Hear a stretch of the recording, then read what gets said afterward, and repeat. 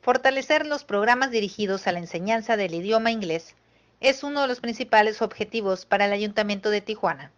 por lo que el presidente municipal, doctor Jorge Astiazarán Orsi, encabezó la entrega-recepción de un paquete de material didáctico para las escuelas primarias del sistema educativo municipal.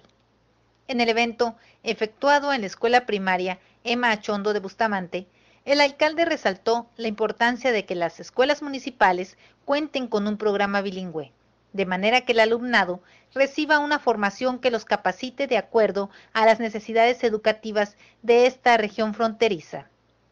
Vivimos en la frontera más importante de México, justo al lado de uno de los países más grandes de habla inglesa, y mientras otras naciones a miles de kilómetros de Estados Unidos invierten en esta materia, nosotros aún estamos rezagados. Es inconcebible que un niño tijuanense no sepa inglés, y por esto estamos haciendo este esfuerzo,